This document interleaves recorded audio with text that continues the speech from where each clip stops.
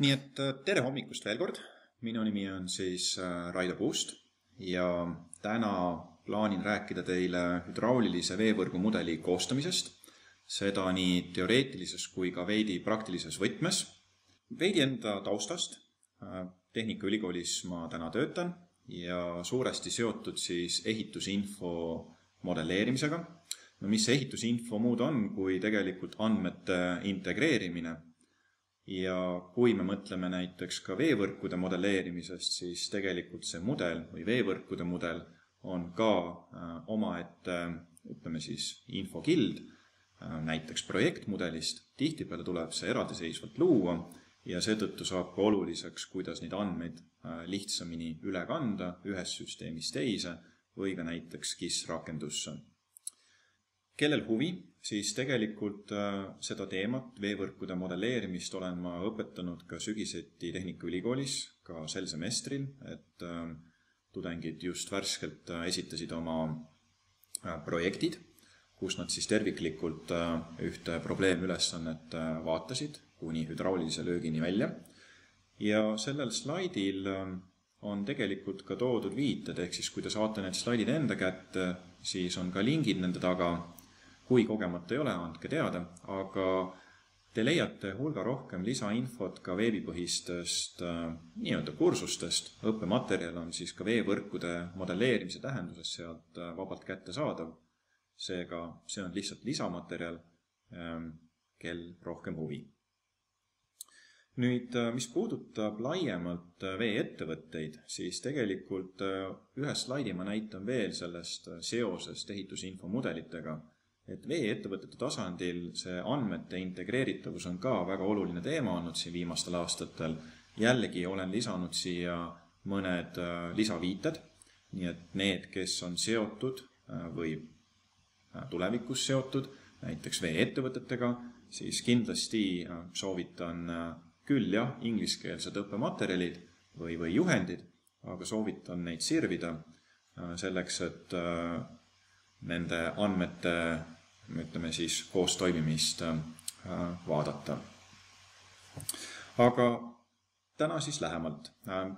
teen üldise sissejuhatuse äh, modelleerimisse, räägin veidi ka modelleerimise alustest, näitan, mis seal salata, paari valemit ja siis me vaatame lähemalt üksikuid komponente, millest tegelikult ka meie mudel hakkab koosnema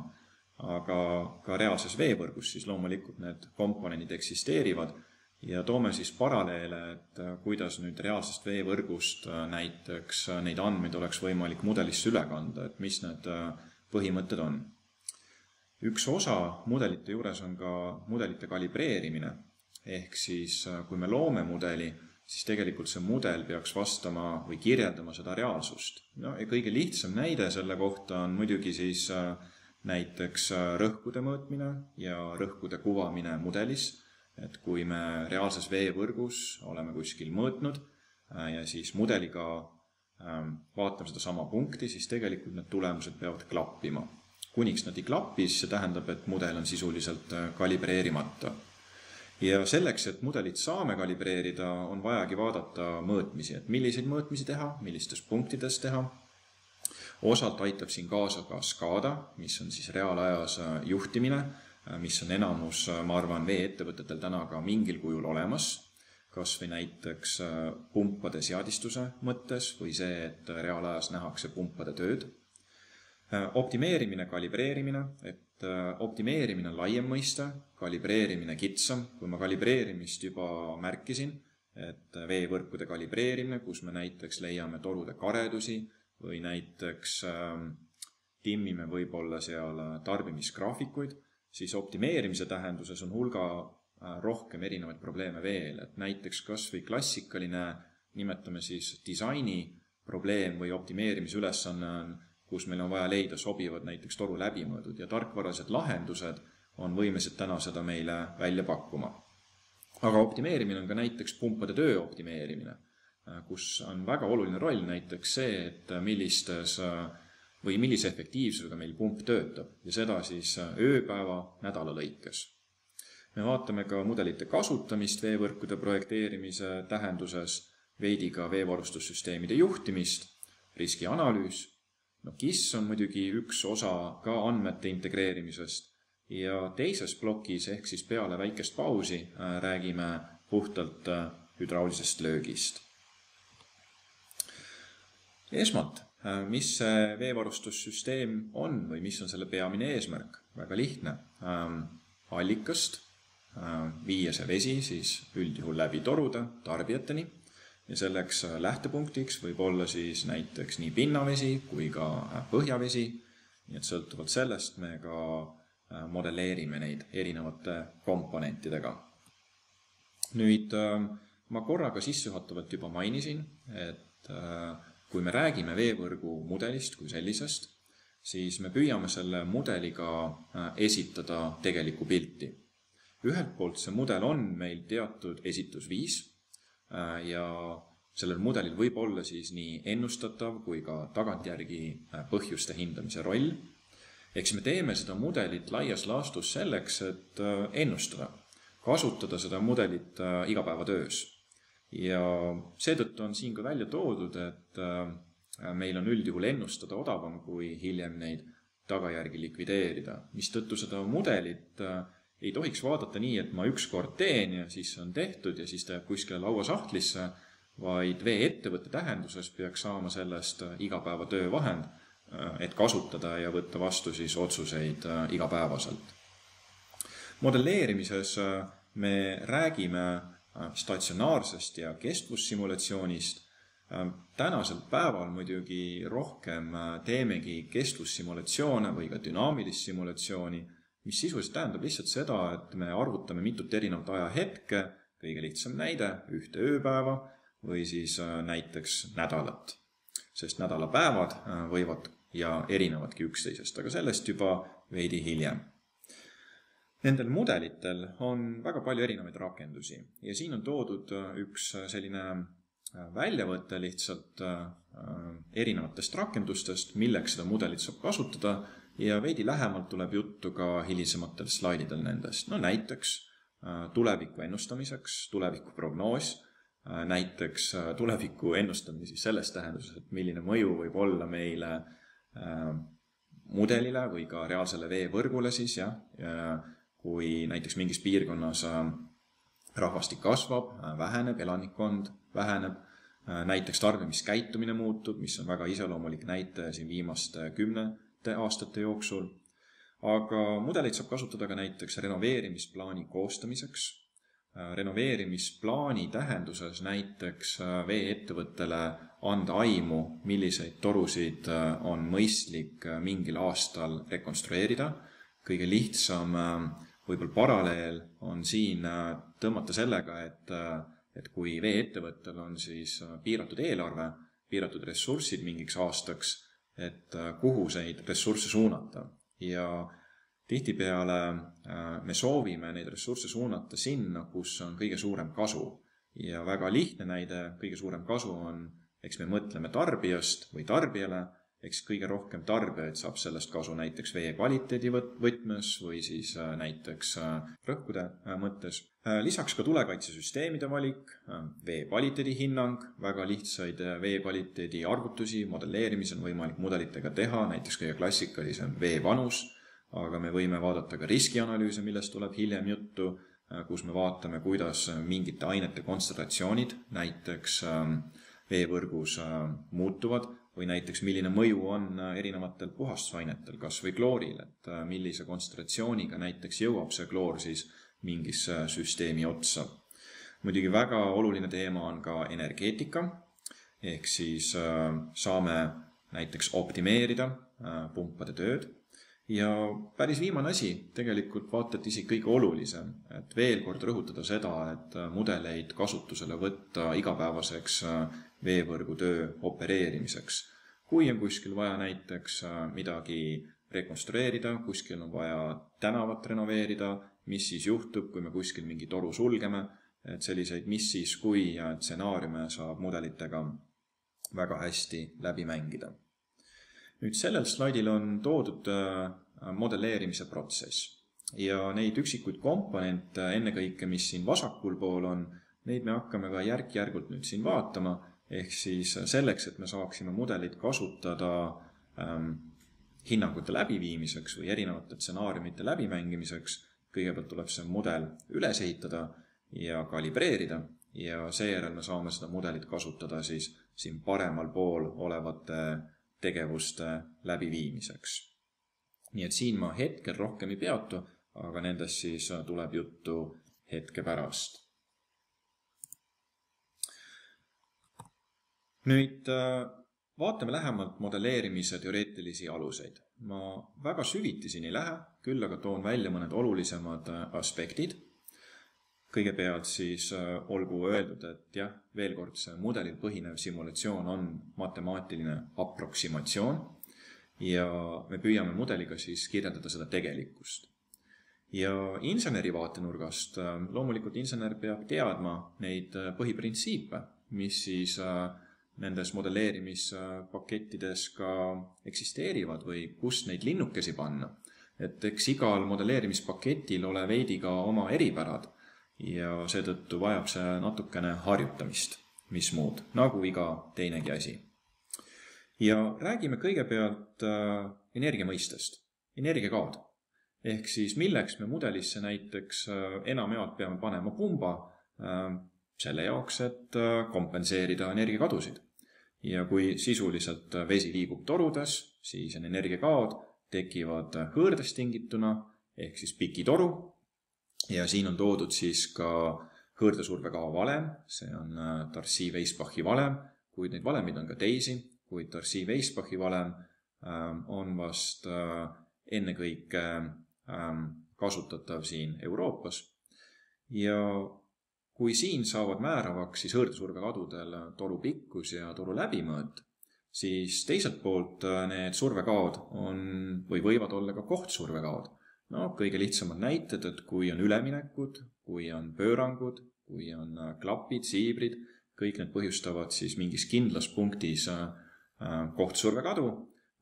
ja seetõttu tuleb nendega teatud mahus ka arvestada. kui me vaatame modelleerimispaketi näiteid, no näiteks siin on mul toodud äh, Epaneti näide, et äh, kommentaarides te võite ka kirjutada, et kui palju teil näiteks on äh, kogemust, kas mõni teist, kes siin täna osaleb, on ka Epanetiga mõne mudeli loonud. siin on Epaneti näide, kus ma siis sisuliselt olen teinud väljavõtte Darcy-Weisbachi valemi valikust. ja sellisel juhul me näiteks toru karedust kirjeldame millimeetrites. millimeetrites seina paksuse tähenduses justkui, jah. Äh, nii et D topelt V, aga siin te näete, et on ka H topelt V olemas, mis on Hazen-Williams ja sellisel juhul äh, me toru karedust määrame justkui vastupidises suunas. Et äh, osad teist on, ma loodan, ka kursis, Hazen-Williamsiga toru karedust defineeritakse näiteks vahemikuga kümme kuni sada viiskümmend, jah, just nimelt ongi sellised täisarvud.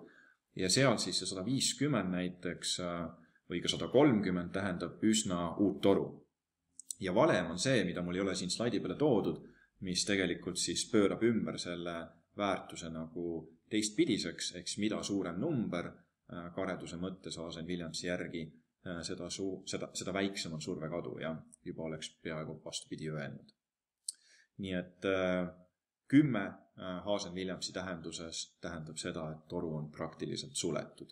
ja see on üks, äh, üks enamlevinuid äh, näiteid, et kui me enda mudelid hakkame looma, siis meie valem on vale, paneme selle kümme näiteks kuskile, et iseloomustada toru karedust ja siis ei saa aru, miks meie mudel ei tööta. et oleme lihtsalt valinud vale survega valemi. mis puudutab kohtsurvekadusid, siis jah, mudelites on võimalik, sest ma täna ennekõike fokusseerin ikkagi välisvõrkudele. et eks needsamad seaduspärasused ju kehtivad meil ka sisevõrkudes, kuid välisvõrkude ja sisevõrkude selline suurim vahe on see, et ehkki mudelitesse äh, me saame panna neid kohtsurvekadusid ka, näiteks summaarse väärtusena, äh, kui me võtame mingi toru pikkuse, äh, siis selle toru pikkuse ulatuses me saame summeerida need kohtsurvekao tegurid. ja siin slaidil päris allosas valemis on toodud siis KL, mis on koefitsient, jah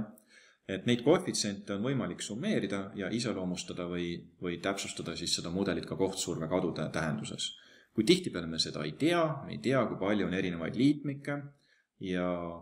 ja teiselt poolt on oluline võib-olla isegi märkida ja olulisem isegi märkida seda, et, et kohtsurve kao-, kohtsurvekadude osakaal on märksa väiksem kui hõõrdesurvekadude tähenduses, mistõttu kui me tegeleme välisvõrkudega, siis me kohtsurvekaod lihtsalt piltlikult öeldes unustame ära aga teadke, et seda on võimalik lisada, näiteks pumba imi poolel kindlasti peaksime nende asjadega arvestama, et seal kavitatsioonivaru leida, et äh, sõltub, on ju, mis poolt me justkui simuleerime või modelleerime. vaatame lähemalt ka selliseid üksikuid komponente, mis on olemas nii reaalses võrgus kui ka peame äh, siis tekitama äh, mudelites. kõigepealt räägime veidi pumbast no mis see pump on, äh, seda ma korra juba ka mainisin, et me lisame selle pumba üldjuhul selleks, et äh, äh, ületada siis need erinevad survekaod, et üldse vesi jõuaks tarbijani. nii et pumba abil viiakse lisaenergiat, seda siis täissurvena, pumba tõstekõrgus on ju, mida me oleme kuulnud, ja pumba juures on selleks kõige iseloomulikumaks graafikuks siis graafik, mis seob ära pumba voolu hulga ja pumba tõstekõrguse, mis on toodud siin ka parempoolsel pildil. ja üldjuhul on ta siis selline langev parapool, äh, mõne, mõnel juhul siis järsem, mõnel juhul veidi sujuvam, sõltub ka pumba tüübist ja äh, pumba tootjast, nii et äh, selliseid graafikuid me näeme pumba tootja veebilehtedelt. Ja sisuliselt sellised graafikud tuleb siis lihtsalt mudelitesse üle kanda punkt punkti haaval ja üldjuhul neid punkte me võtame sealt graafikult siin circa viis erinevat. et, et seda pumba graafikut siis iseloomustada. ja kindlasti üks punkt on see, millal vooluhulk on null ja pumba valiku tähenduses ja ka see, et millal see pump siis töötab üldjuhul kõige efektiivsemalt, on see pumba tööpunkt. väga oluline asi. aga tööpunkt muidugi ajas on muutuv ja seetõttu ongi oluline et kui me räägime näiteks optimeerimisest, siis olemasolevas süsteemis saab väga palju ähm, energiat kokku hoida äh,, kui me saame aimduse, mismoodi meie pump täna töötab äh,. see pump võis olla valitud näiteks äh, aasta, mõned aastad tagasi ja tarbimisolukorrad on muutunud ja ehkki sellel pumbal võib olla lisatud ja tüüp, tüüpiliselt on lisatud ka äh, siis pöörete arvu reguleerimine, sagedusmuundur siis äh, see automaatselt ei tähenda, et meie pump töötab alati ähm, optimaalselt. et äh, ka tudengid tegid siin äh, mul sellise analüüsi oma kodutöödes, kus nad simuleerisid siin üks korda üks kilomeetri ruudus ühte veevõrgumudelit, ise nad selle tegid ja kui nad valisid näiteks seal sagedusmuunduriga pumba, aga näiteks vale pumba, siis see võis tähendada, et pump töötas ka kuni kakskümmend neli tundi äh, ehk siis kõikidel tundidel äh, alla näiteks kuuekümne protsendi või viiekümne protsendi efektiivsuse. tüüpiliselt pumpade juures, veevõrgu pumpade juures me räägime efektiivsustest seitsekümmend viis, kaheksakümmend protsenti. ja kui me suudame juba ühe protsendi kokku hoida, mis võib tunduda nagu väga väikese numbrina, aga tegemist on jooksva kuluga siis aasta lõikes või ka pumba ekspluatatsiooni jooksul on see väga suur number, nii et selliseid arvutusi on mudelite baasil võimalik äh, tegelikult väga lihtsalt teha. teiselt poolt, äh, et selleks, et seda pumpa valida, on meil siis süsteemikõver või võrgukarakteristik, mis siis kirjeldabki lihtsalt, äh, mismoodi seda vett vajatakse. Ähm, ja siia alla lähevad siis erinevad ajahetked, tipptund, öine tund, aga ka näiteks ähm, Ähm, tulekustutusvee vajadus või tulekahju olukord, ähm, erinevad olukorrad siis, mis kirjeldavad seda äh, võrgu karakteristikut. Ja kui need asjad kokku panna, näiteks siin vasakul pildil on siis võrgu karakteristik vastupidine parapool ähm, ja kui ta siis lõikub selle pumba graafikuga, siis äh, graafilises mõttes või graafikute tähenduses see ongi see meie pumba tööpunkt, mille järgi me oleme harjunud seda pumpa siis valima aga veel kord, see tööpunkt muutub, sest tarbimine ööpäeva lõikes muutub ja lisaks on meil need äh, erijuhtumid, on ju, näiteks tulekahju olukord ja, ja nii edasi. ja parempoolsel pildil on siis äh, toodud meil ka mõned olulised veel teised graafikud, mida ka pumbatootjad annavad, äh, kui me veebikataloogi, veeb, veebikataloogides uitame, et efektiivsuse kõver, või siis kasuteguri karakteristik, mis on selline parapool jällegi, jah, ja üldjuhul siis siin pildil on ka see toodud, et see tööpunkt, mille järgi me valime, et seda siis iseloomustab kõige suurem efektiivsus. ja see pumba kasutegur või efektiivsus on toodud parempoolsel teljel, et pange siis tähele, protsent on see seal. ja olgu siinkohal veel ka tehtud ääremärkus, et, et vale on arvata seda, et kui me kasutame siis sagedusmoondurit, pöörete arvu reguleerimist ja see pumba graafik siis üldjuhul kukub allapoole, et siis sellega me justkui saavutamegi selle maksimaalse efektiivsuse alati, ei ole, sellepärast et äh, ka see kasuteguri karakteristik või efektiivsuse kõver samamoodi kukub allapoole ja nihkub siis diagonaalis nullpunkti poole kergelt, jah. aga sellel graafikul on toodud siis ka kavitatsioonivaru äh, inglise keeles NPSH, Net Positive Suction Head, mis on siis oluline just äh, pumba imipoole arvutuste juures. nüüd mõned valemid veel. Äh, selleks, et äh, mudeleid äh, arvutada või siis tegelikult ka reaalse võrgu juures, kus need asjad toimivad, on kaks põhiseadust, kuidas neid saab kirjeldada. on massijäävuse seadus ja on energiajäävuse seadus. Need mõlemad on siia pildile mahutatud, vasakul pool on siis massijäävuse seadus valemi kujul, mis siis tähendab lihtsalt seda, et summaarne voolu hulk ehk siis mingist punktist Äh, sisenevate ja väljuvate vooluhulkade summa on null. ehk siis, kui ma vaatan mingit punkti, kuhu tulevad kokku mitu erinevat toru näiteks ja sellest punktist äh, näiteks on tarbimine või ka leke, mis iganes vooluhulk on, need plussid ja miinused, need peavad andma meile kokku nulli, nii et piltlikult öeldes vesi süsteemist kuhugi kaduda ei saa, kui me kõigega arvestame, sealhulgas leketega ja paremal pool äh, teine oluline põhiprintsiip äh, järgib siis seda, et äh, survekaod mingis ringis on võrdsed, kui me soovime siis ühte ja samasse punkti läbi erinevate teekondade liikuda, ehk siis voolamine toimub läbi erinevate teekondade. Nii et kui selle pildil tähele panna siis A, B ja C, siis C punkt, mis on see alumine punkt, et sinna võib see vesi jõuda näiteks otse punktist A või ka läbi A, B ja C. Ja mismoodi see saab juhtuda, sest noh, silmaga justkui eristame, et äh, üks teekond on pikem kui teine, aga kui näiteks need survekaod selles pikemas teekonnas on väiksemad, näiteks kas või suurema läbimõõduga toru, siis tänu sellele see vesi sinna jõuab. nii et äh, survekadude tähenduses äh, see peab jällegi andma kokku meile nulli seda see siis sisuliselt kirjeldab. ja neid kahte ähm, põhivõrdust, äh, võrrandit, neid tuleb siis kasutada absoluutselt iga veevõrgu sõlme juures. nii et mida mahukam meil see veevõrgusüsteem on sõlmede torude tähenduses, seda rohkem äh, või suurem see võrrandite süsteem on ja seda keerukam on seda muidugi ka käsitsi lahendada, nii et käsitsi lahendamist ma ka tudengitega olen äh, varasematel aastatel teinud, et äh, mismoodi see põhimõte on, et just nimelt, kuidas need äh, kaks põhivalemit kokku jooksevad ja seejärel nad saavad ka kontrollida seda mudelitega. aga võib-olla peamine siis nüanss, mida tasub siit meelde jätta, on see, et jah, mida rohkem sõlmi torusid, seda keerukam see ülesanne on sest äh, need sõltuvad ka üksteisest, äh, need vooluhulgad jah, ja seetõttu käsitsi lahendamine,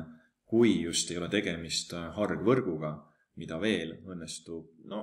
enam-vähem ähm, lahendada, et ka käsitsi, siis me hakkame lihtsalt ühest punktist tulema ja liigume kuni lõpp-punkti välja, et ringvõrkude juures on see asi ikka käsitsi äh, mõttetu. Ja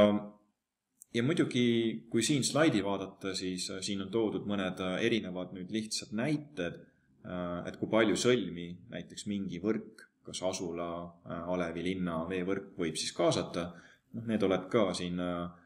mitme aasta vanused, et need võrgud võivad olla veidi juba ka teistsugused või laiemad, aga näiteks selles süsteemis on siin nelikümmend seitse sõlme, siin on Rakvere näide näiteks, circa kolmsada sõlme ja Tallinna näide circa kakskümmend tuhat sõlme. no muidugi Tallinna juures kui siin korraks veel peatuda, siis tegelikult Tallinn on jagatud erinevateks survetsoonideks, mistõttu ka mudelites või modelleerimises me saame neid eraldiseisvalt arvutada et see ei tähenda, et mudeli kontekstis tuleb kõiki samaaegselt neid võrrandeid lahendada, neid kakskümmend tuhat pluss. aga ta annab nagu selles mõttes sellise ettekujutuse, et äh, selle veevõrgu äh, ülesande võib-olla keerukusest siis. muidugi tänased tarkvarad äh, arvutavad neid ka kümneid tuhandeid äh, võrdluseid või võrrandeid siis äh, silmapilguga, et äh, selles mõttes äh, kui me jõuame selle teemani, mis puudutab mudelite lihtsustamist siis ütleme, et circa kümme aastat tagasi võis ta olla veel oluline, sellepärast et me suutsime sellega natuke arvutusaega kokku hoida, siis tänasel päeval ähm, seoses arvutite ressursside, ütleme sellise positiivse arenguga ja ka tark, ja ka tarkvaraliste ja ka tarkvara äh, arengutega, siis äh, me väga neid mudeleid lihtsustama ei pea, et mõnest, ütleme sellisest nüansist ma muidugi räägin hiljem, et mida me nüüd näiteks KISS-i süsteemist äh, otse üle ei pea kandma või siis mismoodi me võime neid lihtsustada. nii et äh, kasutatakse mudelites äh, selliseid iteratiivseid meetodeid, sisuliselt see tähendab seda, et proovimise teel lahendatakse neid võrrandeid ja need kriteeriumid, need kaks põhivalemit peavad siis klappima igas punktis. Nüüd liigume edasi ja liigume edasi järgmise komponendi juurde, milleks on vee tarbimine ja vee tarbimine on selles mõttes oluline, et ega enne see veevõrk või veevõrgu mudel meil tööle ei hakka, kui mingites punktides ei nõuta seda vett. nii et kuniks meil seda sihestatud pole, meil võib olla äh, pump lisatud, siis see pump ei hakka mitte midagi kuskile pumpama ka mudelis, kui kuskil seda vett ei nõuta. seega need vee tarbimised tuleb mudelisse lisada, lisatakse nad sõlmedesse, äh, aga kõigepealt siis võib-olla paar põhimõistet jällegi et kõigepealt siis kliendi tarbimine ehk siis veetarbija. ja üldjuhul me saame selle info kätte siis läbi veemõõtjate, tänasel päeval äh, veeettevõtted äh, ka kauglugemisega. ja muidugi ma jõuan ka selleni, et äh, sisuliselt läbi veemõõtjate me keskmestame siis näiteks tunni väärtuse. tihtipeale võib-olla me saamegi vaikimisi kätte kuu keskmise ja kuu keskmise taandame siis tunni keskmisele aga selleks, et näiteks tarbimisgraafikuid kätte saada, et mismoodi seda keskmist äh, vett tarbitakse ööpäeva lõikes, et äh, sest on ju äh, hommikutunnid, on õhtutunnid, et siis selle jaoks on vaja näiteks ka tüüptarbijaid, näiteks kortermajad, eramajad mingites survetsoonides ka mõõta täpsemalt. et sellisel juhul me saame selle tarbimisgraafiku kätte. meil on ka registreerimata tarbimine alati olemas kas siis äh, näiteks illegaalsed ühendused või ka äh, lekked ja muidugi on siis ka tihtipeale mõõtmata tarbimised veel, mis on omaette, on tulekustutusvesi, mida üldjuhul ei, äh, vee-ettevõte ei mõõda. ehk siis, kui seda hüdrantidest näiteks võetakse.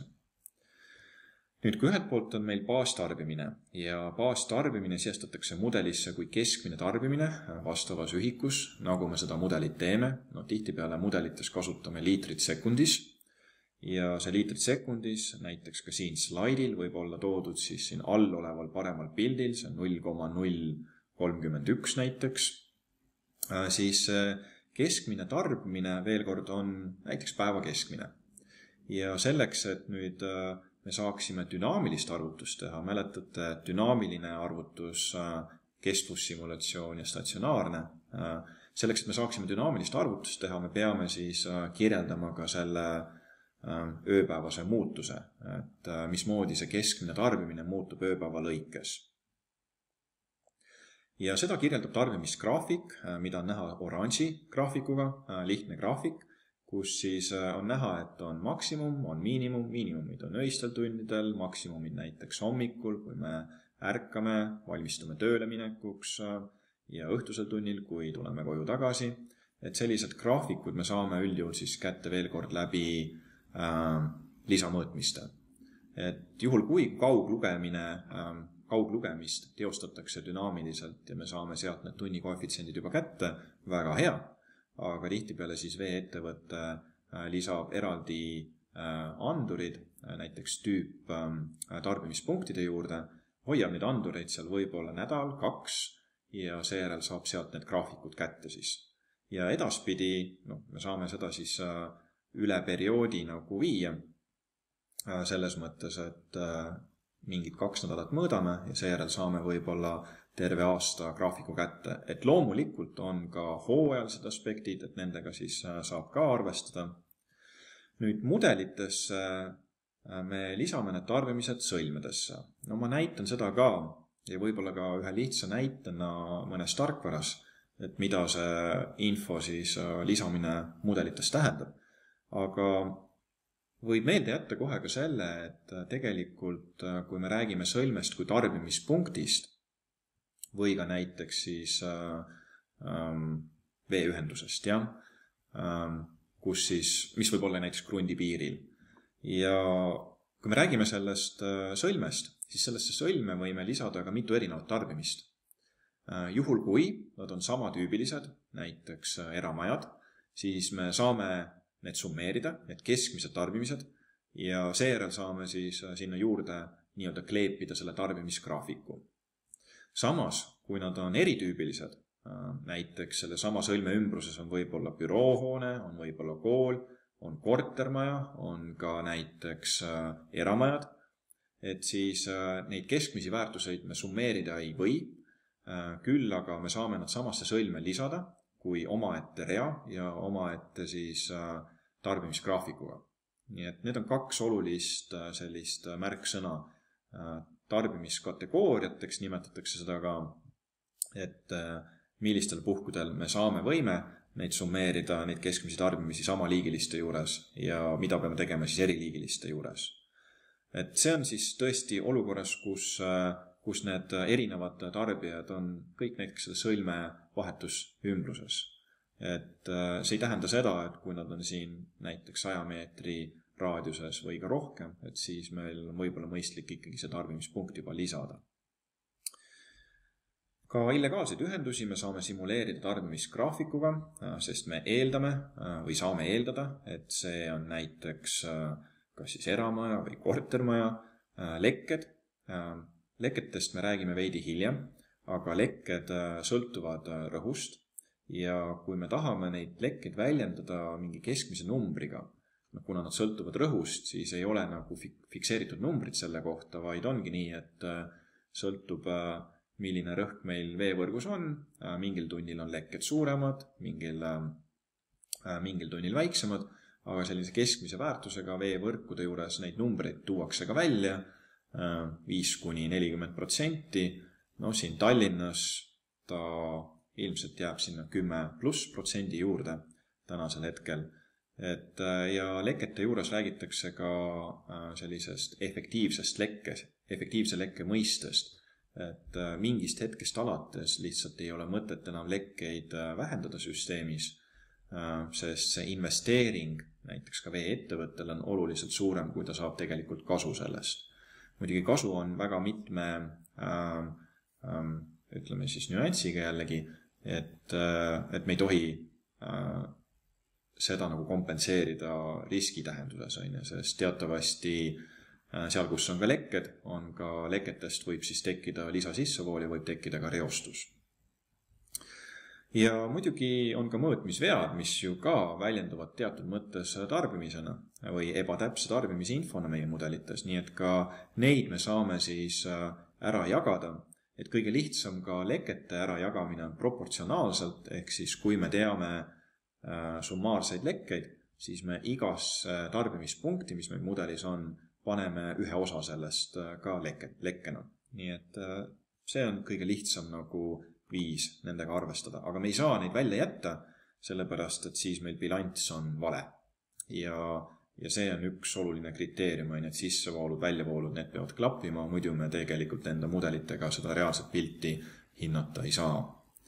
Tarbimise kordajast ma korraga mainisin selle tarbimisgraafiku tähenduses ja, ja suu ja vilksamisi mainisin ka seda, et jah, et tegelikult äh, ju tarbimise kordajad ei sõltu ainult sellest, et äh, äh maksimumtunnist äh, näiteks hommik ja, ja õhtune tund, vaid need võivad ka erineda nädalapäevade lõikes ja need erinevad ka näiteks hooaegade lõikes et kõige lihtsam näide on see, et äh, laupäeval me ärkame üldjuhul hiljem ülesse, kes siis töötab esmaspäevast reedeni ja seetõttu ka see maksimum äh, või tipp on siis mõnevõrra teises kohas. ja kui me sellega ei arvesta, siis jällegi äh, meil võivad tekkida teatud lahknevused mudelis ja reaalses pildis. Aga ka hooajaline, näiteks eramajade juures kastmisvesi, oluline komponent, mis tuleb juurde näiteks suveperioodil või ka näiteks kortermajade juures, äh, kus siis võib-olla inimesed lähevadki äh, suveperioodiks või puhkeperioodiks siis äh, hoopis maale, mistõttu tulevad ka teised tarbimise kordajad. nii et selliseid asju me saame veevõrgus korrapäraselt mõõta, uurida, et, et täpsemaid mudeleid luua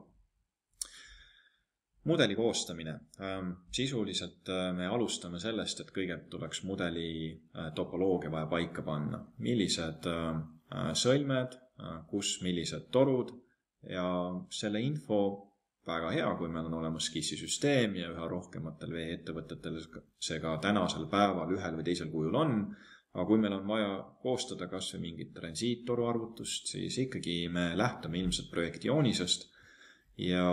väga tihti tuleb see mudel ka meil nullist luua, sest projektjoonis või projekt ei ole tehtud viisil, et me saame neid andmeid äh, üks-ühele üle kanda. aga lisaks projektjoonisele veel kord siis ka mõned arhiivmaterjalid ja mis tahes siis elektroonilised andmefailid, näiteks kas või tabel, tabelid või, või ütleme siis Exceli failid, kus on toodud näiteks äh, sõlmede kohta käiv info ja ka torude kohta käiv info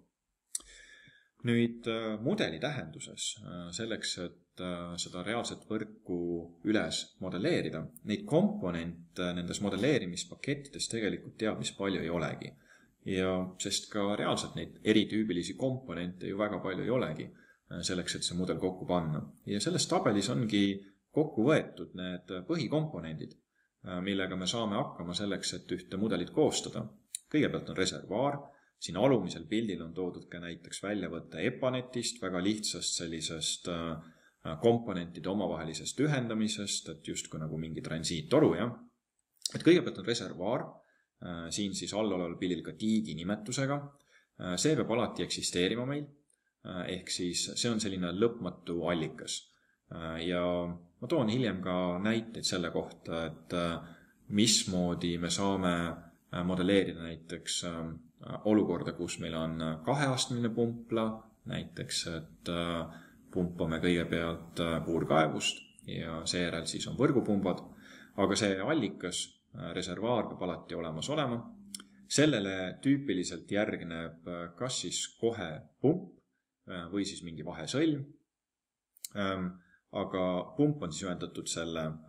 reservuaariga ja sealt juba edasi kas see pump näiteks pumpab mahutisse, eelmahutisse või otse näiteks võrku, et sellest lähtuvad siis need elemendid. nii et kõigepealt on punktelemendid ja need punktid tuleb siis omavahel ühendada näiteks toruga. nüüd siin on mõned erisused äh, sõltuvalt tarkvarast, mida me kasutame, et näiteks EPANetis äh, see pump ei ole ähm, kui punktelement, vaid selle pumba me lisame kahe sõlmpunkti vahele nii et ta on justkui toru, on ju, aga millel ei ole pikkust. nii et äh, kui jällegi vaatame kommertstarkvarasid, siis seal see pump on kui punktelement ja seega me ühendame selle pumba nii vasakult kui paremalt poolt äh, toru elemendiga. ja kui me siis selliselt ühel teisel moel teeme, siis me peame lihtsalt mõne eripäraga arvestama, et kuidas me saame siis imi või surve poolt äh, tõlgendada aga lisaks siis on ka mahuti, mis sellel alumisel pildikesel on äh, sellise veetorni sümbolina T1. Äh, veel kord seda mahutit äh, võime kasutada näiteks siis eelmahutina või ka näiteks ongi veevõrgus veetornid, mida siis kasutatakse selleks, et kompenseerida ütleme siis sellist tarbimiskäitumist, et eriolukordasid no Eestis meil väga palju linnasid ei ole, kus äh, neid veetorne veel alles on, aga mõnes siiski on. ja päris lõpus, enne viimast sõlme on tegelikult näha ka klappi. Äh, klapil on tegelikult modelleerimise tähendus väga erineva, väga erinevad tähendused, et selle klapiga võime simuleerida näiteks survealandusklappi, võime näiteks vooluhulka piirata, võime kasutada seda lihtsa siibrina, nii et tal on mitu erinevat funktsiooni. Nüüd lisaks, kui me oleme nüüd selle mudeli, no ütleme siis geomeetria paika pannud ja me teeme seda 2D tasandis ehkki või 2D plaanis, ehkki me paneme kõrguslikku info, siis täna Äh, modelleerimise tähenduses meil ei ole nagu väga selliseid rakendusi, kus me näeme kõike 3D-s välisvõrkusid. et äh, need rakendused äh, saavad loomulikult veevõrgu mudelite, ütleme siis, selle geomeetria 3D-s kuvada, aga need on erinevad rakendused, et üks rakendus siis just modelleerimiseks ja teine rakendus siis näiteks visualiseerimise tähenduses. ja me teeme need küll 2D-s, aga me paneme siis need kõrgusmärgid, äh, ehk siis äh, sellega me loome selle äh, ebatasasused või pinna toome sisse. aga lisaks sellele topoloogiale või ütleme siis geomeetriale on meil vaja ka teada erinevaid seadeid. Ja pumpade juures muidugi on nad kõige klassikalisemad, on ju, et pumbad töötavad kindlal režiimil kas siis pump näiteks on juhitud äh, mingi kindla sõlme kaudu, ehk siis äh, ta hoiab püsivalt mingis sõlmes äh, rõhku. seda siis tuleb mudelites märkida ära, et vot näed, punkt on selline ja lähtuvalt siis selle, sellest kriteeriumist pump siis reguleerib näiteks sagedusmuunduriga, selleks et tagada see püsiv näiteks väljundsurve aga see pump võib töötada ka näiteks mahuti vee tasapinnast lähtuvalt, siin äh, allaoleval pildil on toodud ka säte EPANET-i näitel, lihtne näide, kus siis äh, pump lülitab ennast sisse, kui näiteks mahuti vee tasapind on alla mingi etteantud väärtuse. Need seaded, äh, mismoodi siis võrk töötab, neid alati ei pruugi kõige lihtne olla kätte saada olemasolevast veevõrgust. aga kuna me digitaliseerime üha rohkem ja rohkem, siis äh, ja ka räägime SCADA-st, et siis üldjuhul ähm, on need täna ikkagi lihtsamini kättesaadavad kui võib-olla kümnete aastate eest, kus võib-olla keegi seadistas selle pumba ja neid koefitsiente, kuidas see pump töötab, on väga keeruline kätte saada ja me ei saagi muud moodi, kui näiteks peame pumpa, vahetult peale pumpa näiteks mõõtma seal erinevaid rõhkusid, vooluhulkasid selleks, et äh, teada saada või aimu saada, mismoodi pump töötab. aga need on väga olulised äh, äh, lisanüansid, mis siis mudelitesse äh, lisatakse jällegi. ja siis on äh, meie mudel sisuliselt koos ja sõltuvalt nüüd sellest äh, mudeli eesmärgist äh, me saame läbi viia siis erinevat tüüpi simulatsioone. Kõigepealt, kas siis see simulatsioon on näiteks äh, Äh, mingil konkreetsel ajahetkel. no oletame, et me koostame mudeli selleks, et äh, leida näiteks äh, maks tarbimisele mingi olukord või, või mismoodi meie mudel töötab. kuid tänasel päeval veel kord on mõistlik kohe koostada dünaamilisi simulatsioonimudeleid, et isegi siis, kui meie eesmärk on ainult vaadata mingit konkreetset tundi sest äh, see arvutusaeg on niivõrd lühike või see erinevus on niivõrd lühike, et me peaaegu seda ei märkagi, aga seetõttu, aga seevastu me saame oluliselt rohkem nagu tagasisidet, et mismoodi meie mudel töötab näiteks selle maksimumtunni ümbruses. et äh, sest selleks, et äh, näiteks saaks toimida see maks tingimus, peab olema täidetud ka see, et ka vahetult enne seda makstundi see süsteem on töötanud, kui seal on tekkinud mingi näiteks puudujääk Äh, siis seda ka makstingimust ei saa täita. nii et siin on nagu sellised lisanüansid, et näiteks äh, vahetult makstundi on võib-olla mahuti juba tühjenenud, mistõttu me ei saa eeldada seda, et mahuti on alati täis, kui me seda asja simuleerime. ja kaks erinevat siis simulatsiooni tüüpi, veel kord statsionaarne, dünaamiline ja pildikeste peal on toodud siis meil ka äh, vasakpoolsel pildil on kommertstarkvarast näide. Äh, seda dünaamilist simulatsiooni tähistatakse inglise keeles tihtipeale ka lühendina EPHS, mis on siis Extended Period Simulation. Ja vastupidiselt siis äh, statsionaarne, mis on steady state. valime ühe või teise, kui valime EPHS-i, siis märgime ka tundide arvu, kakskümmend neli tundi, kui arvutada ühte ööpäeva, kui soovime näiteks nädalat arvutada, siis sada kuuskümmend kaheksa tundi, korrutame seitsmega ja parempoolsel pildil on näiteks toodud väljavõte Epaneti tarkvarast, kus kõige ülemine rida, total duration, ütleb siis, et kakskümmend neli tundi, mis siis tähendab automaatselt seda, et arvutatakse või teostatakse dünaamilist simulatsiooni. kui ma paneksin sinna nulli, siis see tähendab seda, et ma arvutan konkreetset ajahetke, ehk siis see null ei tähenda selles võtmes, et ma arvutan keskööl enda mudelit, vaid seda ikkagi reguleerib juba meil kindel ajahetk, mida me näeme ka nendel äh, piltidel, vähemasti selle Epaneti pildil, parempoolsel pildil on mul seal olemas äh, säte, et mis ajahetkel me seda simuleerime.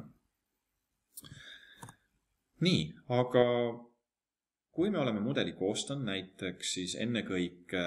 KISS-i baasil äh, ja kui see KISS on siis olnud detailsem ja me mingis etapis soovime võib-olla selliseid põhimõttelisemaid mudeleid teha, siis äh, kommertstarkvaradesse on sisse ehitatud ka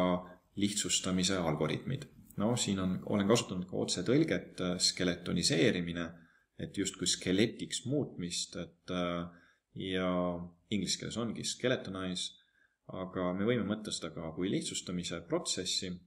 ja see lihtsustamise protsessi juures, mis tahes lihtsustamist me teeme, me peame siis järgima ühte põhilist äh, töövoolu, mis on toodud ka siin piltide peal. et äh, kui näiteks meil on mingisugune arenduspiirkond ja iga siis krundi jaoks on omaette sõlm ja sellele sõlmele järgneb siis omakorda ka tänava-torustikuühenduse sõlm. et noh, üldjuhul selline detailsus on äh, juba liigne, sest seda lisaaru, mis selle toruühendusest või tänavatorustikuühendusest läheb kliendi juurde, et äh, sellega me mingit suurt äh, lisatäpsust ei saavuta, mistõttu ühe sõlme me võime justkui kohe eemaldada, mida kirjeldab äh, ka see keskmine pilt. mis on aga oluline, on see, et te pange tähele ka, et osade tänavatolustike juures on siin nii üleval kui all siis tarbija, jah. Ja kui me siis selle koondame näiteks sinna tänava, tänavatorustiku peale, siis tegelikult vooluhulk kui selline tuleb summeerida sest äh, muidu me lihtsalt äh, võtame seda detailsust ära ja see tulemus ei ole kindlasti enam sama, mis, äh, millega me alustasime. ehk siis põhireegel,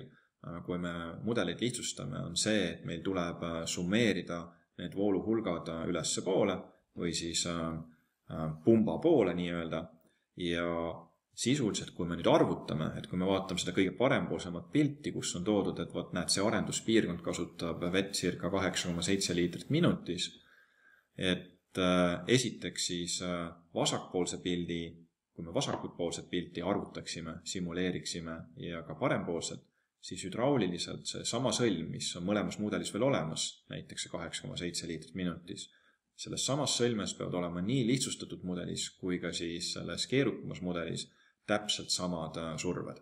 ainult see äh, annab meile äh, sellise kindluse, et me oleme lihtsustuse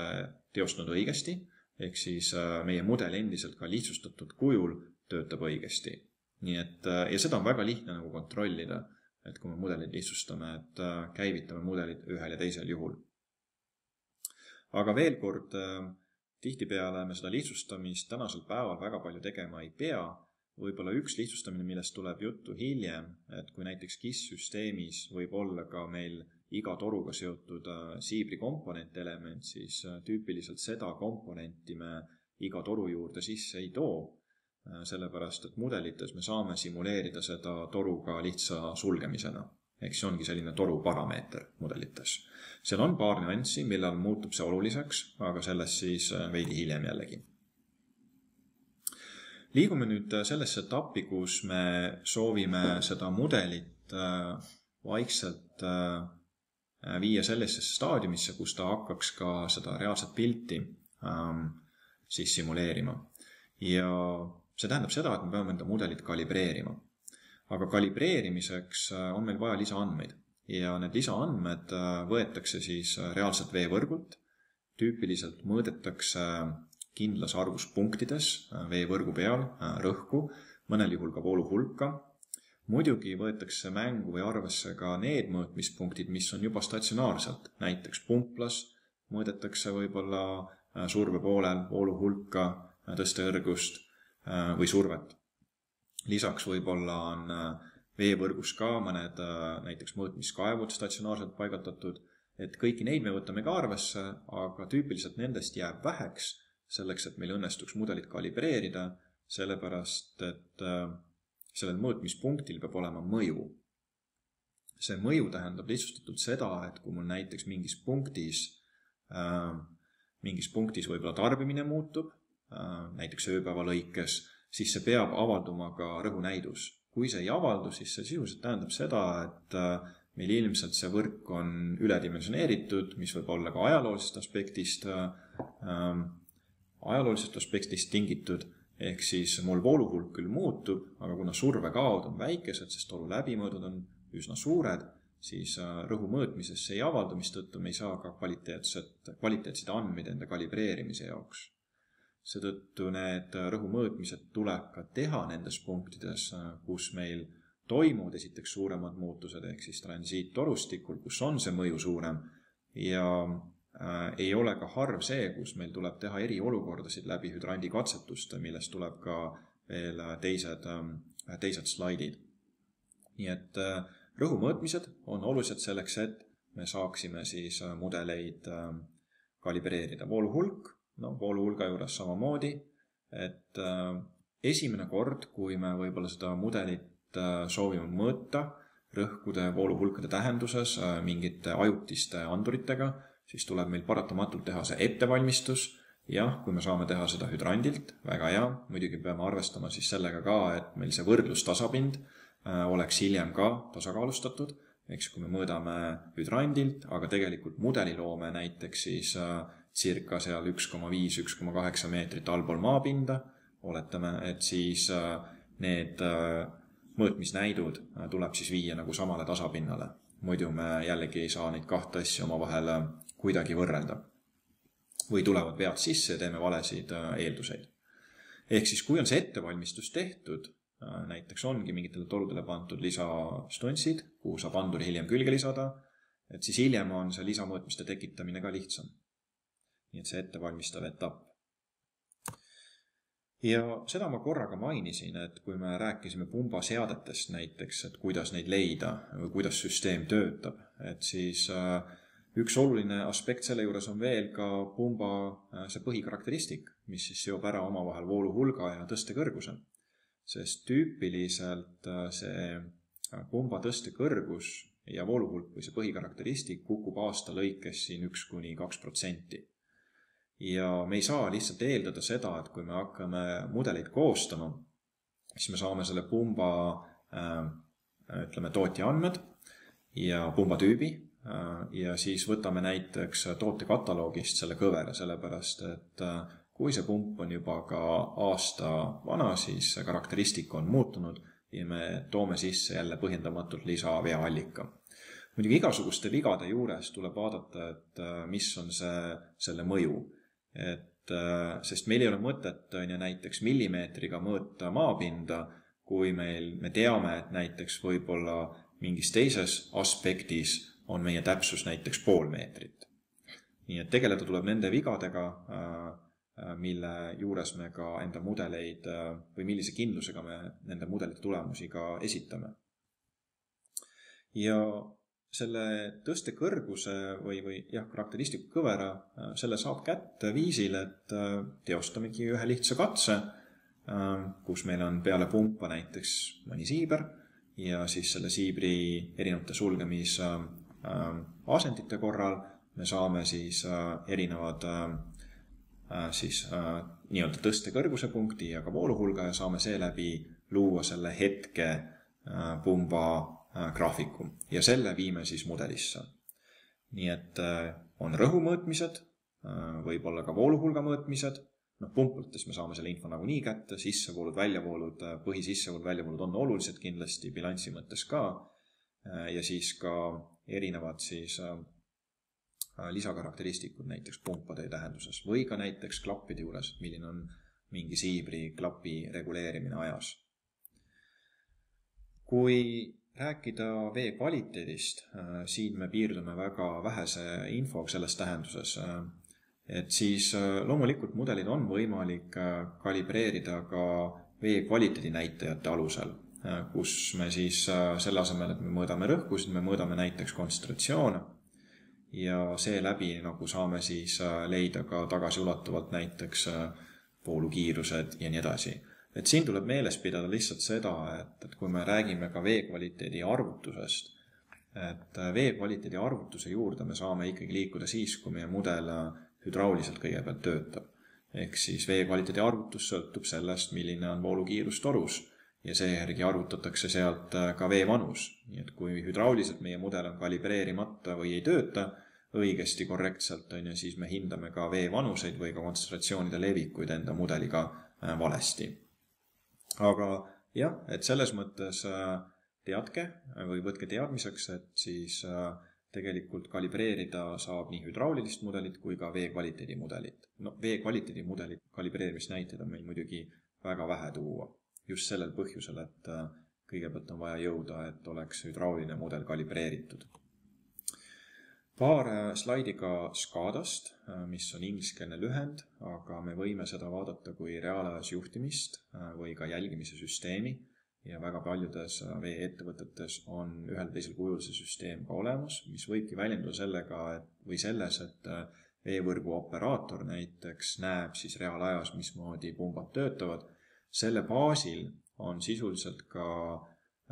üles ehitatud erinevad näiteks lekkekontrolli algoritmid ehk siis tuuakse mängu see ennustamise faktor, et kui sa oled reaalajas midagi mõõtnud, sul on ajalooline aspekt, siis sa saad ennustada, et mis näiteks järgnevatel tundidel või päevadel juhtub. Ja kui siis näiteks äh, sa näed, et äh, praegune hetk ähm, äh, kukub sellest ennustatavast ajahetkest allapoole või hoopis ülespoole, et siis see võiks justkui tähendada, et veevõrgus on mingisugune äkiline muutus Äh, milleks võib olla näiteks ka leke ja see annab sulle esimese signaali näiteks selle kohta, et tuleb sellega tegeleda. aga laiemas plaanis jah, äh, nendest äh, nii-öelda SCADA süsteemidest me saame ka infot siis vooluhulkade ja survete kohta ja seda me siis saame samamoodi üle kanda enda mudeli kalibreerimise protsessi. ja sõltub jällegi, millised süsteemid on kasutusel kuidas me neid andmeid saame eksportida, üldjuhul mingid tabelväljavõtted seal on ka olemas. Ja need SCADA andmed äh, tegelikult äh, võimaldavad meil ka jälgida ka, noh, nii nagu ma ka korra tõin, et on selline ennustamise aspekt, aga siin on, ütleme, selline ajalooline aspekt, et äh, et kui me võtame sealt väljavõtte nendest andmetest ja tahame seda kasutada kalibreerimise juures, kusjuures väga oluline on see, et kui me hakkame enda mudelit kalibreerima, siis need andmed peavad olema välja võetud ühel ja samal perioodil. ehk siis ei saa olla nii, et me näiteks teostame võib-olla lisarõhu mõõtmisi ja vooluhulga mõõtmisi võrgu peal lisaanduritega äh, näiteks kolmekümnendal nädalal, aga samas SCADA-st võtame välja andmed kolmekümne esimesel nädalal. et me võime mõelda küll, et nädalad on vennad, aga tegelikult äh, ei ole, et võib-olla ühel nädalal oli seal äh, mingi tulekahju äh, või mingit äh, läbipesu näiteks ja, ja me ei saa juba neid andmeid tegelikult võrrelda, ei tohigi niiviisi teha. nii et alati me peame need andmed võtma samast perioodist ja tüüpiliselt seda väga tihti juhibki see, et äh, need lisaajutised mõõtmised, millal need on korraldatud, siis sama perioodi kohta peame ka võtma need reaalaja juhtimissüsteemidest väljavõtted aga kui me neid andmeid vaatame näiteks, mida me siis oleme anduritega mõõtnud või ka SCADA süsteemis mõõtnud, siis paratamatult tekib ka seal ikka vigasid. või siis näiteks, äh, kuidas interpreteerida näiteks mingisuguseid äkilisi piike. ja kõigepealt tuleb otsa vaadata, et kui pika aja kestel see piik on näiteks juhtunud, ähm, me räägime näiteks omaette plokis äh, hüdraulilisest löögist, kuid tihtipeale need andurid mis äh, mõõdavad meil tavaolukorras äh, rõhku ja vooluhulka, noh rõhku siis ennekõike, siis hüdraulilist lööki need ei suuda nagu fikseerida, sellepärast hüdraulilise löögi juures need rõhumuutused on väga-väga kiired ja rõhuandurite ütleme siis tundlikkus ei ole lihtsalt selline, ehk siis tavarõhuandurid ei ole nagu nii kiired reageerima. Ähm, ja seetõttu me saame väga tihti eeldada, et need on mingisugused muud vead ja need vead tuleb siis lihtsalt äh, välja tasandada, et me ei tohi nagu neid võtta keskmise arvutustesse ja saame sealt lihtsalt välja siluda, filtreerida ja ühendada need piltlikult öeldes sirge joonega. või kui näiteks kuskil on meil andur andnud, et mingitel tundidel on võib-olla hoopis null see mõõtmisväärtus, et võib-olla andur ise on mingil perioodil läinud katki või siis näiteks on häire, sest tihtipeale anduritest tuleb see info ka üle siis mobiilside näiteks et võib-olla on siis ülekandmisel tekkinud mingi häire, nii et selliseid asju tuleb analüüsida, et me automaatselt kohe neid andmeid äh, sisse ei too. ja mudeli juures siis veel kord äh, on vaja saavutada olukord, kus äh, mudeli väärtused võrd-, oleksid samad, mis mõõdetud väärtused, seda protsessi siis nimetame kalibreerimiseks. Ja ja seda me püüame siis ka läbi mudelite teha. nüüd kuidas seda teha? jah, me saame seda teha käsitsi, äh, kuid käsitsi on seda väga jällegi keeruline ja tülikas teha, aeganõudev. Äh, selleks on ka arvutustarkvarad, millele on siis kalibreerimismoodulid äh, sisse ehitatud, et meie anname ette andmed, paneme paika seal võib-olla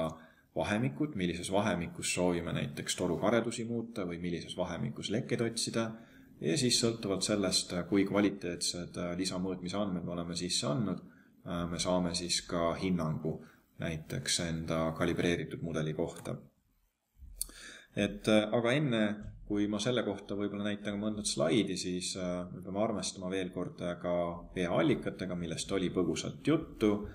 ka see näide on ju, et üks millimeeter versus näiteks pool meetrit, see ei pea olema nii drastiline, see võib olla ka näiteks üks sentimeeter Äh, või kümme sentimeetrit versus pool meetrit. ehk siis äh, meil ei ole nagu pilli mõtet lõhki ajada mingis kindlas kitsas vahemikus andmete täpsustamisega, kui näiteks kuskil teises osas on meil see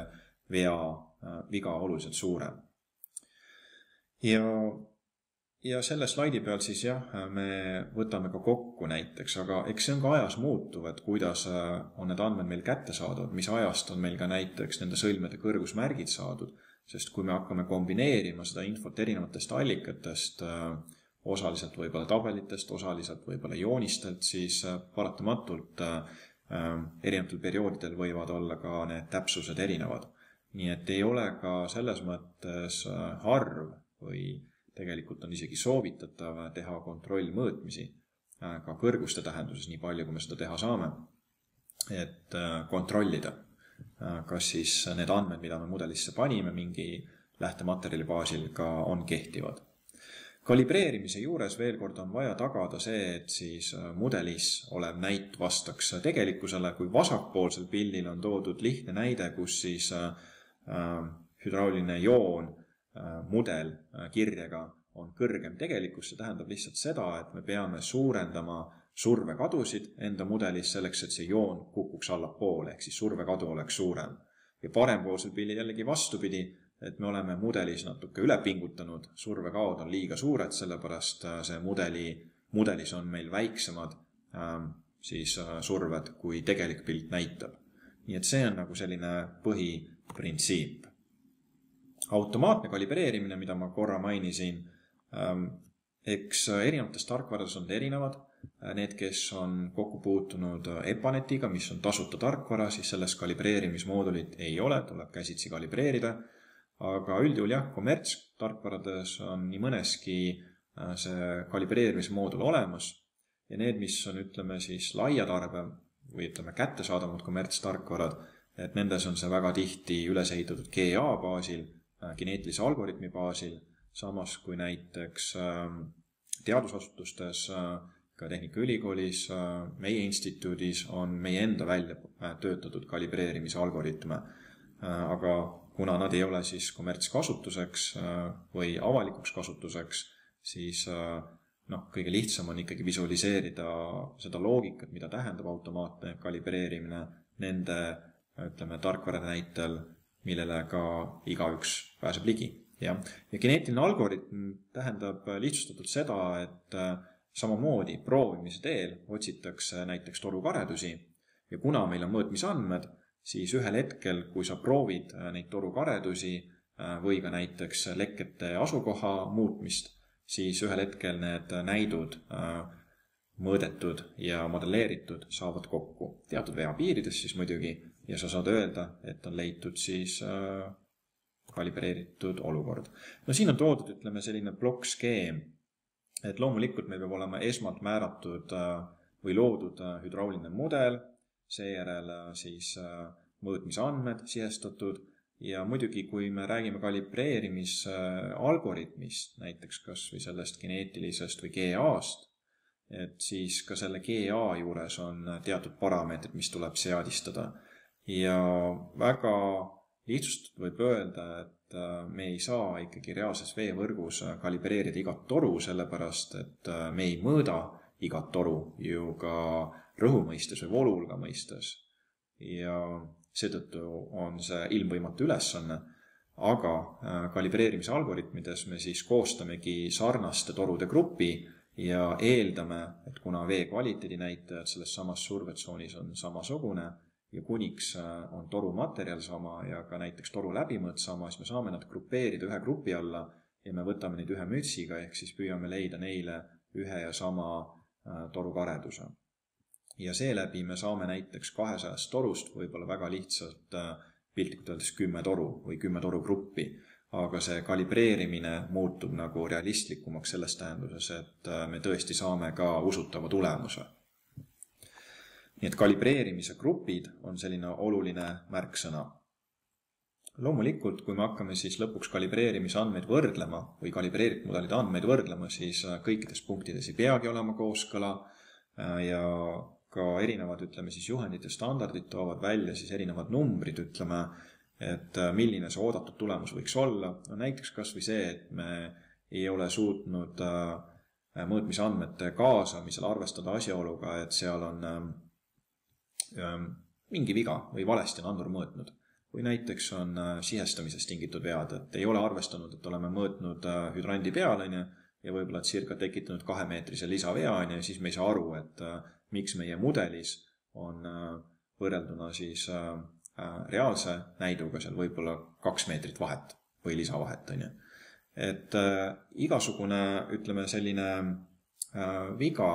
et me saame siis jah, välistada, et me saame öelda, et meie mudel on kalibreeritud, kui näiteks enamus punktides või ka näiteks keskmistame siin näiteks üheksakümnes protsendis punktides, mida me oleme siis valinud reaalse veevõrgu peal on see tulemus äh, mingites veapiirides, noh siin on toodud näiteks et, et kaheksakümmend viis protsenti kogu mõõtmise andmestikust peavad need tulemused jääma siin poole meetri äh, vahemikku või siis näiteks ähm, üheksakümne viie protsendi, saja protsendi juures on siis nad erinevad. ja siin on toodud siis ka see hüdrandi katse, me tekitame eriolukorra ja mõõdame siis jällegi nendes ajutises mõõtmispunktides kuna me tekitame olulise lisasurve kao, siis me näeme ka seda rõhuandurites ja saame seeläbi tuua juurde olulist lisateadmist enda mudelile ka. Äh, järgnevate slaidide juures vaatame nüüd äh, mõningaid mudelite rakendusi, et päris alguses ma mainisin ka, tõin välja, milleks siis neid mudeleid saab rakendada.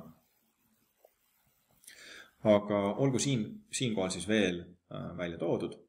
et äh, kõigepealt üldisemal tasandil, miks kasutada projekteerimisel, et äh, me saame siis läbi mängida erinevaid olukordi, kuid loomulikult, kuna ma seda ka mainisin, üldjuhul on lisainvesteering tarkvara tähenduses, jah, me saame kasutada ka vabavara ja EPANET on selles mõttes väga hea tarkvara, et seda siis teha, hüdraulilist arvutust. samas me peame arvestama ka tööjõukoolituse ja andmetöötluse hinnaga, nii et aga mina tavaliselt ütlen, kui ma õpetan ka siin VK eriala tudengeid, et äh, hüdrauliline modelleerimine peaks kuuluma kindlasti äh, VK projekteerija siis äh, justkui teenuste hulka, ehk siis ta peaks suutma seda teha. nüüd selleks, et me saaksime siis mudelitega midagi ennustada, mida ma olen ka korduvalt maininud, meil peab olema kalibreeritud mudel. muidu meil ei ole mõtet nagu selle mudeliga midagi juhtida või, või mingeid otsuseid äh, vastu võtta selle baasil. ja siin on toodud lihtsalt äh, see protsess jällegi äh, lihtsustatud kujul, mida siis see kalibreeritud mudel tähendab. Mängime läbi erinevaid stsenaariume, näiteks sulgeme toru, mis juhtub süsteemis, millised tarbijad võivad jääda veeta või näiteks kus võib oluliselt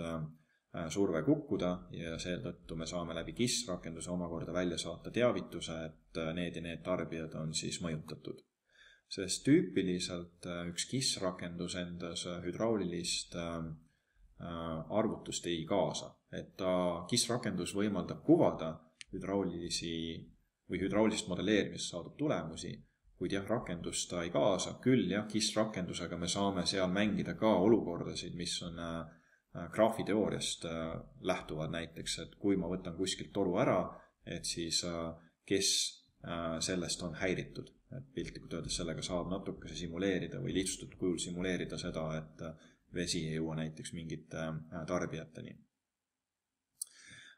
ma saan ka mudelite kaudu erinevaid stsenaariumeid omavahel hinnata, mis on väga ja väga selline suur pluss mudelite juures, et äh, ma saan just nimelt neid mis siis, kui äh, stsenaariume genereerida kui palju tahes ja võrrelda, läbi mängida. torude dimensioneerimine, äh, kommertstarkvarades näiteks on ka erinevad moodulid selleks, kus ma saan ette anda siis need kriteeriumid, mis peavad olema näiteks tagatud saan anda ette ka ütleme siis toru läbimõõtude vahemikku, et see oleks realistlik, mille vahel ta saab äh, valida. Ja saan anda ette ka nende torude äh, paigaldusmaksumuse, tuua sisse ka materjalide erinevuse. Ja seeläbi,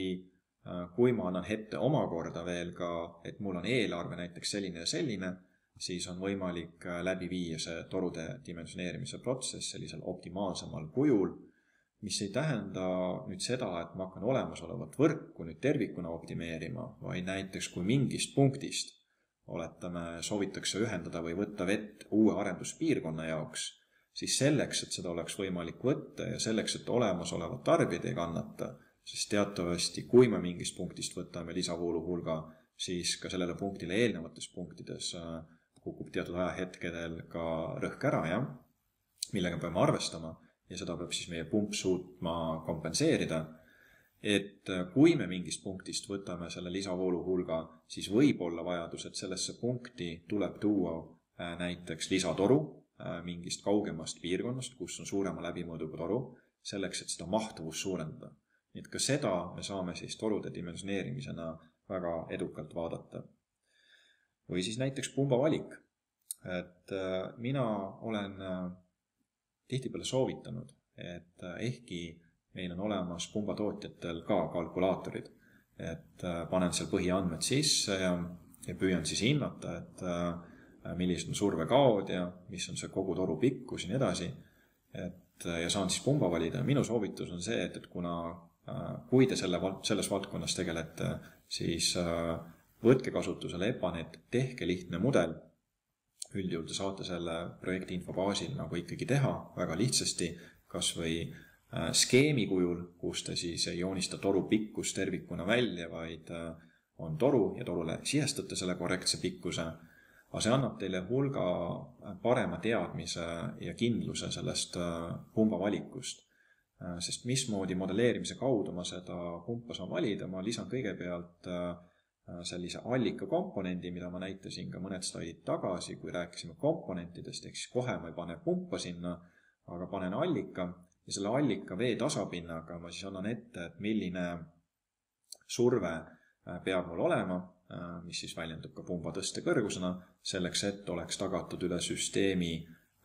see vajalik miinimum ja seda ka siis erinevatel ajahetkedel. ja alles seejärel Äh, nende andmete baasil, mis ma siis sellest EPANetist saan, äh, ma lähen ja valin pumba siis äh, selle tõstekõrguse või siis allika surve ja siis kogu voolu hulga tähenduses.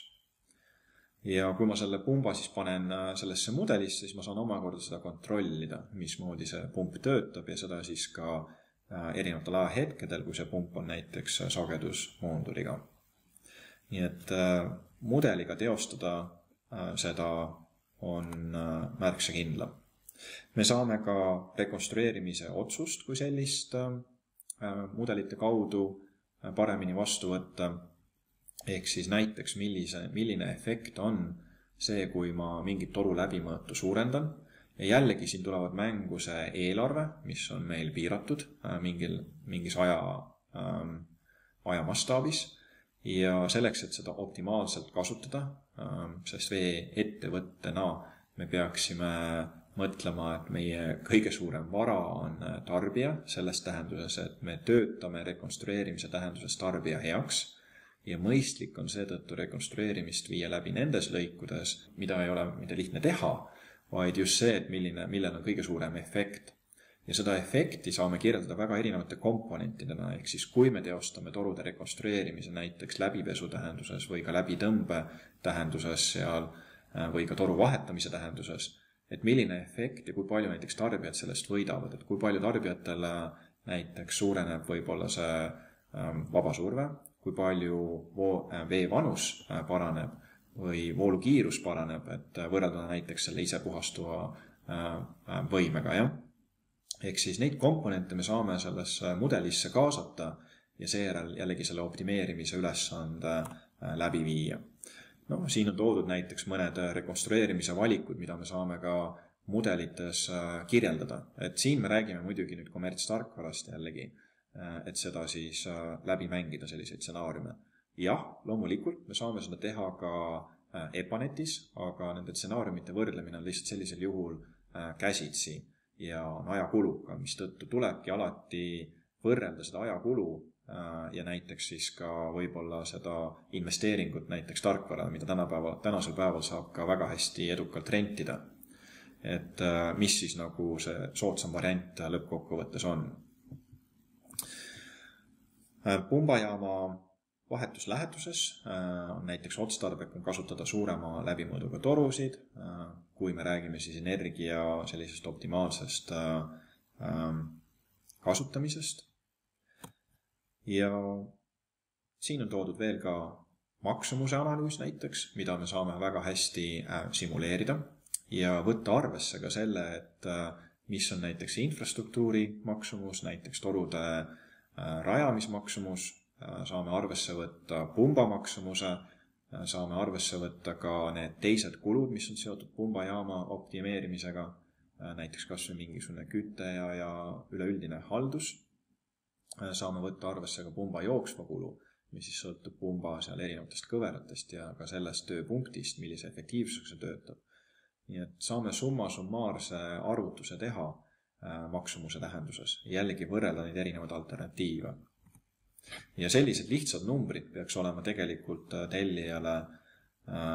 väga lihtne ka demonstreerida, et kui ma teen seda, siis see kasu on selline. Ja siin on toodud ka slaidi peal see, mida ma korra mainisin, et, et kui näiteks me suudame juba äh, pumba, ütleme siis äh, energiast näiteks äh, kokku hoida seal üks kuni kaks protsenti, siis see on äh, näiteks aasta lõikes väga oluline ähm, võit ja see võib tähendada või me saame nagu arvutada selle kõrvale, et näiteks võib-olla tasub äh, hoopis uus pump panna. See mitmesihilise optimeerimise mõiste äh, väljendub ennekõike selles, et äh, me ei võta vastu otsuseid ainult puhtalt, mis on odavam, vaid me vaatame ka seda aspekti, et kui me teeme lisakulu, näiteks, noh, toome lihtsa näite, et oletame, et see lahend maksab sada tuhat eurot ja see on kõige odavam ja selle tõttu näiteks on seal keskmine võib-olla vaba surve tarbimispunktides selline, selline. aga kui ma nüüd seda eelarvet tõstan, oletame kümme protsenti ja seeläbi ma saan siis äh, rekonstrueerida mingis osas veel enda veevõrku, et äh, mis see kümme protsenti lisakulu näiteks toob mulle äh, näiteks kas või nende vabasurvete tähenduses või ka näiteks riski tähenduses, et kui palju näiteks on võimalik või kui palju suureneb näiteks tulekahju olukorras vee kättesaadavus.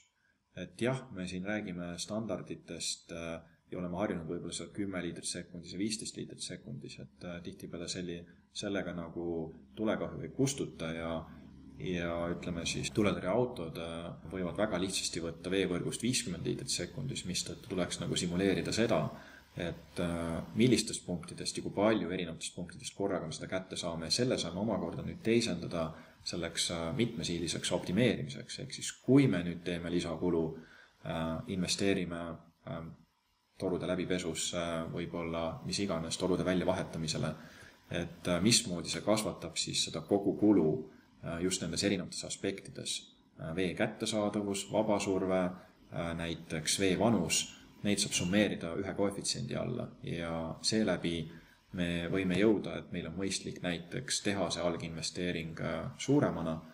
sest sellega me võime kordades parandada seda lahendit, seda, seda summaarset koefitsienti et kui ta saja tuhande juures näiteks oli see koondkasu näiteks oletame üks punkt null, teeme lisa kümme protsenti lisakulu, siis see ei tähenda, et see koefitsient on üks koma üks, aga see võib olla näiteks üks koma kaks, üks koma viis. Et äh, seda me saame mudelitega siis hinnata. no ja muidugi me saame siis kasutada ähm, enda mudeleid selleks, et uurida neid nii, nii-öelda igapäevaseid probleeme, kui kuskilt tuleb teavitus, et äh, ei tule vett piisavalt kraanist või üldse ei tule, et siis selle signaali peale me saame vaadata mudelis konkreetset piirkonda lähemalt, tulekustutusvee saadavust, millest oli juttu, energia tarbimine, no siia ma olen toonud ühe näite nüüd selle semestri tudengite tulemustest, et äh, iga rida on omaette mudel ja nad pidid siis äh, kokku arvutama näiteks seal selle üks korda üks ruudu, mille nad valisid siin Tallinna kaardilt loomulikult iga üks korda üks ruut tähendas seda, et nad ise simuleerisid seal tarbimispunktid äh, lähtuvalt siis aluskaardist, Maa-ameti aluskaardist, hoonete tähenduses ja võtsid seal keskmise numbri. Aga siin on näha, mida me mudelitega saame väga lihtsasti teha või kaasata.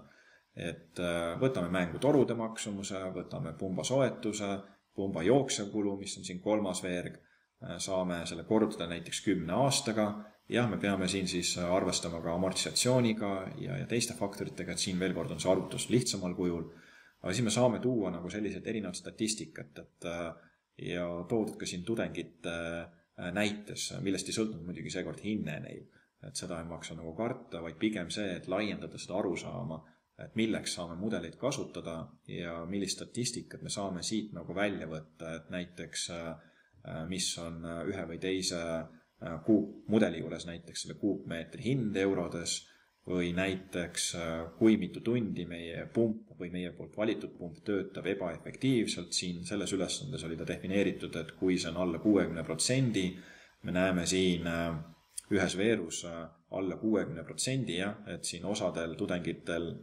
lausa kakskümmend neli tundi ehk siis kogu ööpäev on see pump töötab alla kuuekümne protsendi, mõnedel näiteks siin kuue tunni jooksul ja osaliselt siis me näeme ka seda, et äh, isegi kui on kasutatud sagedusmuundurit, et siis sellega ei ole suudetud äh, seda efektiivsust nagu ikkagi selle kuuekümne protsendi juures hoida. nii et üks ei taga automaatselt teist. Leketest paar sõna, äh, ehk siis see on oluline komponent, et me nende, need mudelisse lisaksime, sest muidu meil tekivad bilansis vead ja seetõttu me hindame mudeliga jällegi valesid olukordasid. Ähm, lekkeid äh, saab hinnata väga erinevat moodi, äh, kas või näiteks üldise bilansi baasil, ehk saada see keskmine protsent näiteks kätte, äh, lekete haldamist kui sellist, noh, tänasel päeval ikkagi enamus riike teevad, võib-olla Aafrikas, võib-olla mitte igas piirkonnas, ehk siis lekete haldamine kõige lihtsamas tähenduses on see, et kuna lekked sõltuvad rõhust, siis öisel tunnil Äh, kui meil ei ole seda äh, rõhku vaja, äh, sellepärast et tarbimised on väiksemad, siis me võimegi rõhku vähendada. Ja kõige lihtsam väljendus ongi, et meil on pumpadel sagedusmoodurid või hoopis näiteks kasutame mingit teist pumpa öisel tunnil. ja see võimaldab meil kõige lihtsamini nagu lek-, lekkeid vähendada, ehk siis kui seal ähm, Aafrika riikides näiteks on olnud vaikimisi võib-olla enne mis tahes lekete äh, Äh, kontrollimeetodi kasutusele võtmist lekkeid ka viiskümmend protsenti, siis lekete haldamine ehk siis äh, rõhu reguleerimine äh, päevane versus öine tund, see võib selle viiekümne protsendi väga lihtsasti tuua juba kahekümne viie protsendi peale. Ja lekete lokaliseerimine mingi piirkonna tähenduses on just see, et kus me siis kalibreerime jällegi. et me võrdleme mõõdetud punktis olevat näiteks rõhku ja ka siis mudelis et siin allpool on toodud lihtne valem, mis siis minimeerib nende kahe summasid või summaruute tegelikult. riskianalüüsist paar sõna. Ähm, ehk siis siin on võib-olla oluline see, et äh, meie veevõrgusüsteem on haavatav, äh, erinevat pidi haavatav ja meil peaks olema siis riski äh, juhtimiseks oluline, et need erinevad variandid oleksid läbi mängitud ja kui midagi juhtub, siis meil on protokoll või ütleme, käitumisjuhis, mida me teeme. nii et äh, siin on toodud mõned sündmused, no näiteks üleujutused sõltuvalt piirkonnast, mõnes kohas on mõndasid vähem, mõndasid rohkem, on kahjuks ka sihipärased või ka näiteks kogemata põhjustatud äh, riskitsenaariumi juhtumeid, kus võib-olla kogemata kanalisatsioonitoru süsteem ühendatakse veesüsteemiga ja tekib reostus, mistõttu tuleb torustik läbi pesta. Ja kui neid riske siis hinnata, siis jah, me saame kõigepealt jagada need riskid äh, erinevate komponentide baasil. Näiteks, et kui me räägime mingist ainest, kahjulikust ainest, et mis on selle aine kättesaadavus, kas see on monitooritav, äh, millised on tema füüsikalised omadused ja kõike seda me saame siis simuleerida, ehk siis mudelisse me saame konkreetse aine defineerida koos tema hajuvuse äh, koefitsientidega, jah Äh, mis mõjutavad siis kontsentratsiooni muutumist. ja seeläbi me saame simuleerida olukordasid, et kui meil on teada see allikas või siis ka vastupidi, kui me oleme mõõtnud võrgus mingis punktis, et meil on kontsentratsioon selline, selline, me saame tagasiulatuvalt hinnata, kus see aine võis siis süsteemi äh, lisanduda, kus see võis tekkida. nii et siin on just need dünaamilised simulatsioonid ja saame väga, ütleme siis värvikalt äh, Äh, olulist infot selle kohta, kus on näiteks reostuse allikas või näiteks millised tarbijad või milline piirkond on kuue tunni pärast või näiteks kahekümne nelja tunni pärast häiritud. võib-olla me saime sellest riskitsenaariumist teada kahekümne teine, kaheteistkümnendal tunnil, siis me saame juba mudelite kaudu vaadata, et kui kaugele see on jõudnud ja millises osas tuleb näiteks sulgeda siibreid, millises osas tuleb võrku läbi pesta. KISS-ist paar sõna, millest on olnud varasemalt äh, korraga juttu, et KISS-i rakendused on mõistagi erinevad, nad võivad olla lihtsalt tabelid, me koondame sisuliselt seda infot siis äh, äh, kokku, jah, ja vaatame seda infot erinevate kihtide tähenduses ja saame seetõttu paremaid otsuseid vastu võtta ja hüdraulilise mudeli või arvutuskiht on siis ka KISS-i tähenduses üks omaette kiht ja andmete haldus, noh, see tegelikult äh, puudutab ennekõike ka seda, et äh, kui me hakkame mudelit äh, koostama, siis meil võib olla näiteks toru kohta see info väga erinevates allikates, et mis siis on see õige koht. et kus me teame, et, et kui me seal mitmes erinevas kohas, et milline neist on õige, kui nad erinevad. nii et siis tulebki tüüpiliselt üle kontrollida see näiteks kas või mõõtmise teel. Siin on näide sellest, et kui KISS-i süsteemis on meil iga toru kohta ka klapp või siiber siis äh, mudelis tähendaks see seda muidugi, et automaatselt äh, oleks meil siin üks, kaks, kolm, neli, viis, kuus, seitse toru või jah, no ütleme seitse toru siin äh, ülemisel pildil, et neid siibreid ei ole mõtet kõiki mudelisse üle kanda. Me saame seda simuleerida, siibrit, siis läbi toru sulgemise, ehk siis torul on mudelites omaette parameeter, et on suletud aga see, mida ma ka varasemalt korra märkisin, et on erijuhte, millal me tahame neid siibreid lisada, on see, et et kui ma siibri sulgen, siis see ei tähenda automaatselt ju seda, et kogu toru või ütleme, kogu mingi konkreetse toruga äh, liidetud tarbijad jäävad veeta, vaid ainult üks osa, et mis siis langeb näiteks ühele poole siibrit, sellepärast et see vesi võib jõuda äh, ringvõrkudes ju ka äh, teist, teistpidi selle tarbijani. nii et selliste nüanssidega tasub arvestada ja see on üks, ütleme, erijuht, kus siis äh, siibreid äh, äh, pikkade torude juures näiteks või, või kus on rohkem tarbijaid, võib-olla tasub sisse panna. ja siin on toodud mõned rakendused veel KISS-il põhinevate rakendustest, millest oli ka põgusalt juttu. ja mõned tarkvarad, ehk siis KISS-i ja ütleme, hüdraulilise mudeli integreeritavuse tähenduses tuleb tegelikult siis selline lihtne analüüs läbi viia et äh, millist tarkvara on mõistlik ettevõttel kasutusele võtta, et see integreeruks, võib-olla tuleb KISS-i süsteem ka äh, selleks välja vahetada, mis on lisainvesteering, aga selge on see, et osadel kommertstarkvaradel on need liidesed paremad kui teistel, äh, EPANeti tarkvaral näiteks liidestust KISS-i süsteemiga saada ei ole. Ja jõuamegi teise ploki teema juurde, aga siinkohal ma teen siis pausi. nii et peatselt tagasi